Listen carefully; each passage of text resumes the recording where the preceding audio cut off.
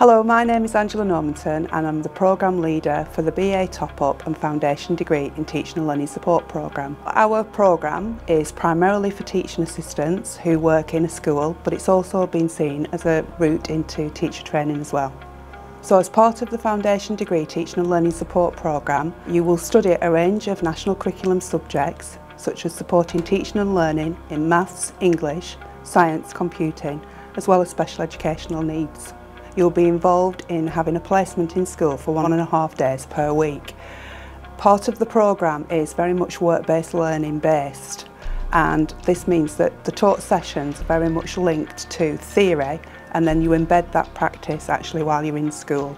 Well, throughout the two-year duration of the programme, you'll be involved in debating and studying wider educational issues relating to primary practices in school.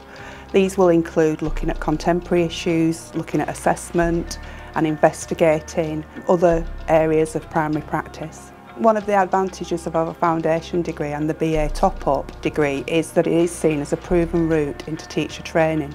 So once you've completed both the foundation degree and the BA top-up, the progression route for some of our students is to go into teacher training.